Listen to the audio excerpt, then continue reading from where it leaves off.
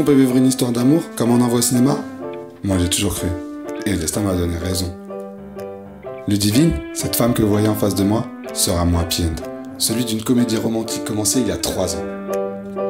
Mais le plus simple, c'est de vous raconter comment tout a commencé.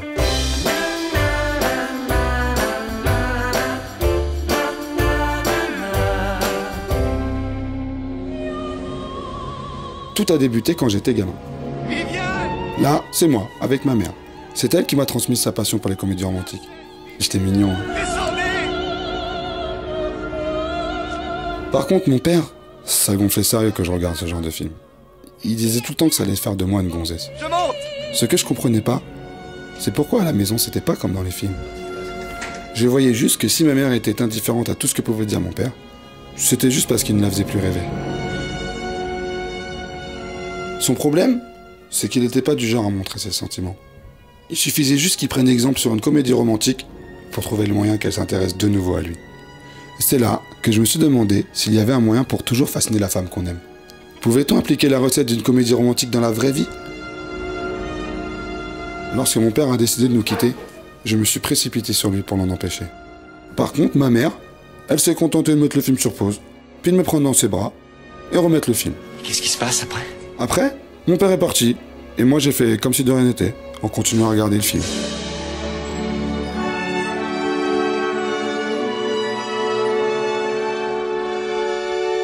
Bienvenue à Hollywood. C'est quoi votre rêve? Mon rêve était alors de vivre une belle histoire d'amour comme dans les films. Mais pour ça, il fallait tout connaître. Alors je me suis mis à étudier le genre. Chaque jour, je passais des heures entières à regarder des films, lire des livres, faire des recherches sur le net et prendre des notes pour connaître les règles. C'est là que j'ai appris qu'il y a sept règles majeures pour faire une bonne comédie romantique. 1. Avoir des beaux comédiens. 2. Bien choisir sa bande originale. 3. Avoir des personnages qui s'opposent. 4.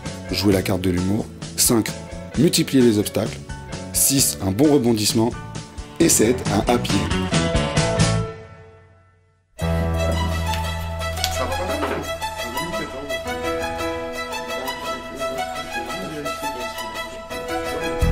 Et puis le jour que j'attendais tant a fini par arriver. J'étais allé voir un pote à son taf, histoire de me siffler un petit chardonnay, quand Virginie est entrée.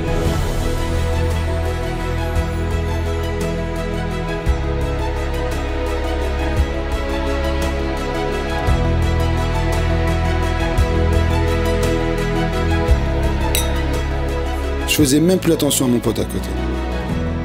Quand elle m'a regardé droit dans les yeux, j'ai tout de suite su que c'était avec elle que j'allais vivre ma comédie romantique.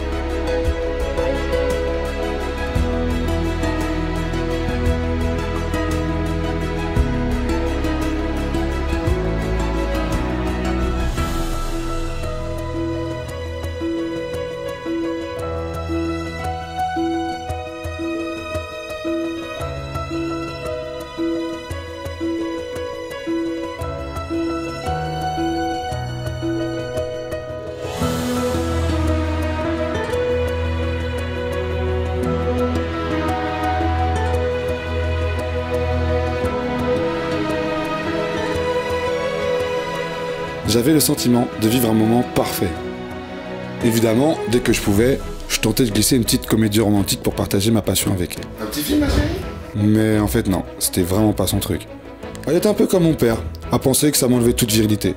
Mais perso ça me faisait rire car je repensais à la règle numéro 3, les caractères qui s'opposent. Et je me disais qu'on remplissait vraiment tous les codes du genre. J'étais totalement accro à elle, et dès que je pouvais, j'allais la voir. J'adorais ce moment où elle ouvrait la porte de chez elle. Et elle me faisait penser à un ange. Elle était parfaite, tellement belle que j'en perdais mes mots. Je savais que c'était la femme de ma vie. Ouais, enfin, jusqu'à ce que je la voie avec son ex Lionel. All around me are familiar faces. En fait, trois jours plus tôt, Virginie avait appris que son ex Lionel venait de rencontrer quelqu'un. Du coup, jalouse et possessive, elle a fait en sorte de reconquérir. Et moi, soudainement, bah, j'existais plus. Et pour justifier notre rupture, elle s'est contentée de me dire Tu sais, la vie c'est pas une comédie romantique. J'ai besoin d'un homme, un vrai Benjamin.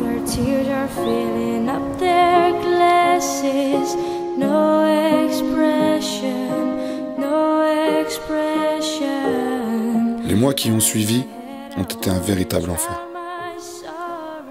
Je ne sortais plus de chez moi. J'étais anéanti.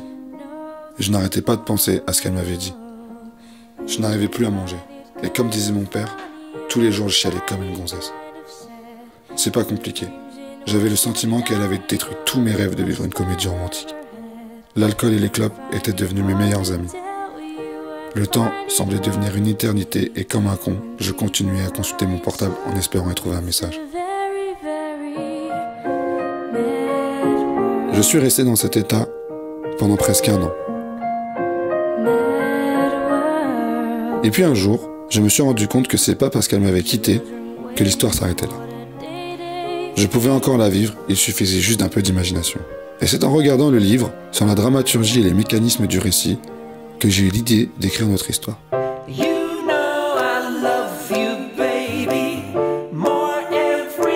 Alors je me suis mis à écrire en espérant que ce livre la remette sur mon chemin. Durant des semaines, je suis resté chez moi, où plus rien d'autre ne comptait. Mon histoire repartait de plus belle avec un nouveau chapitre et j'étais enthousiaste à l'idée de la présenter aux maisons d'édition. Une fois fini, j'ai envoyé mon manuscrit à toutes les maisons d'édition. Hachette, Plomb, Gallimard, Albin Michel et j'en passe. Mais une nouvelle délusion se présenta à moi. Aucune n'en voulait. Et les manuscrits revenaient tous un par un.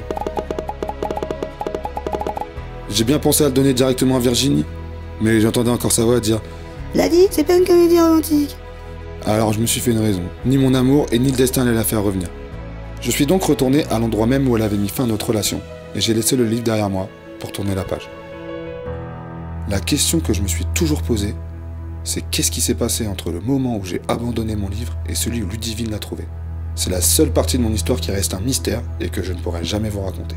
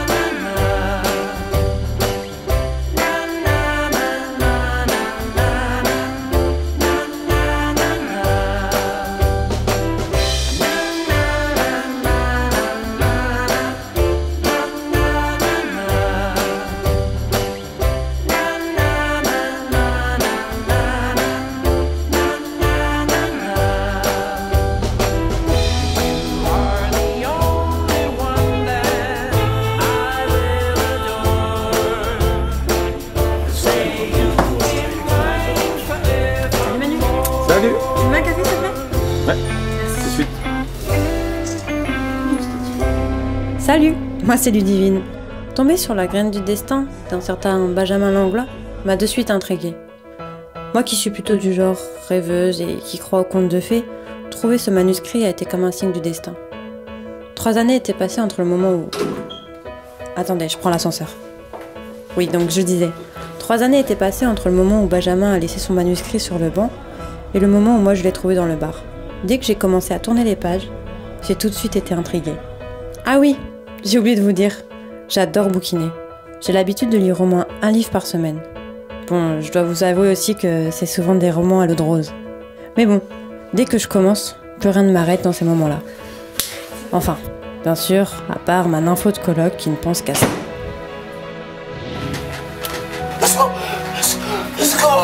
Lui là, le mec que vous voyez, c'est Étienne, le nouveau passe-temps de ma coloc.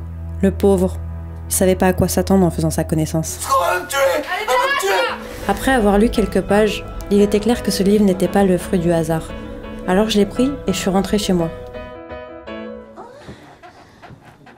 Mais à peine rentrée, j'ai été heurtée au triste retour à la réalité.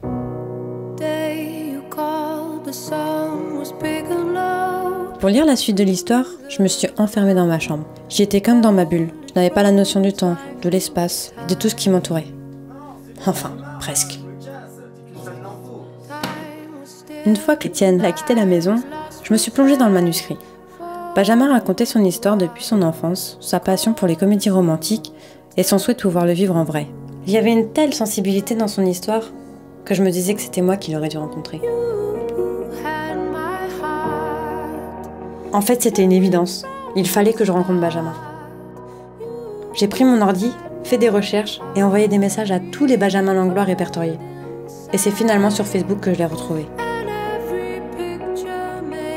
Dès les premiers messages, la magie a opéré. Nous avons discuté ensemble pendant des jours et des jours. À dire vrai, je suis très très vite devenue accro à ses messages. Je retrouvais dans sa manière d'écrire tout ce qui faisait le charme de son manuscrit.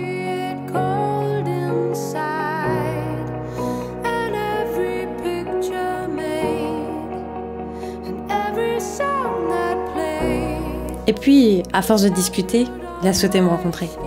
Je me suis dit, ouais, pourquoi pas.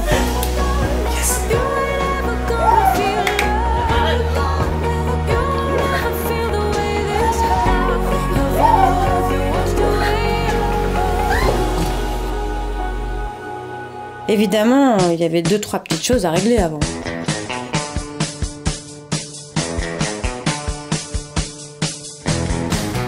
Pretty woman, walking down the street. Pretty woman, the kind I like to meet. Pretty woman, I don't believe you. You're not the truth. No one could look as good as you. Mercy. Pretty woman, won't you pardon me, pretty woman? I couldn't help but see, pourrais pas vous dire ce qui m'a plu lorsque j'ai vu Ludivine sortir de chez elle, mais j'ai flashé direct. Je dois avouer que je me la jouais décontracte en l'attendant en bas de chez elle. En fait, je m'attendais pas à voir cette femme.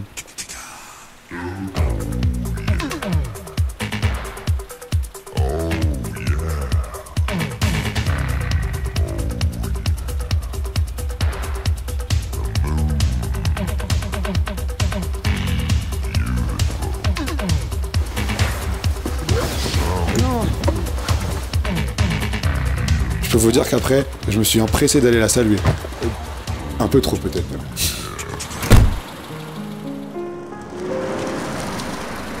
It's your turn to telephone. Your turn to write. Your turn to ask me round for the night. Notre rendez-vous fut incroyable. Benjamin était un gentleman toute la soirée. Il a été au petit soin pour moi et n'a pas manqué de me faire rire. Je dois vous avouer que j'étais littéralement sous son charme. Nous avons retrouvé tout de suite la complicité que nous avions virtuellement. Et puis son sourire me faisait trop craquer. Évidemment, nous avons parlé de son manuscrit. Nos visions de l'amour étaient tellement semblables que lorsqu'un de nous deux commençait une phrase, C'est l'autre qui l'a terminé. The telephone will ring. La soirée passa à une vitesse incroyable. Je me sentais si bien que j'aurais voulu qu'elle ne s'arrête jamais. J'avais l'impression que c'était peut-être elle, mon âme sœur. Je n'avais plus été aussi bien depuis Virginie, et là, j'y croyais à nouveau. Après une petite balade dans Paris, je lui ai proposé de venir boire un verre. Et en sortant de l'ascenseur, je repensais à mon manuscrit et je me disais que finalement, bah, je l'avais vécu, ma comédie romantique. Par contre, euh, c'est une coloc un peu spéciale, donc... euh, Ah, tu vis en colocation? Oui, mais on se voit quasiment jamais.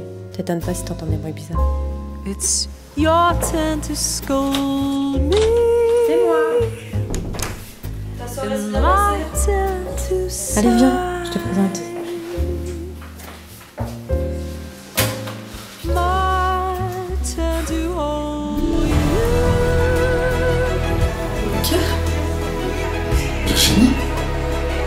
Attends, c'est cette nympho le personnage de ton livre?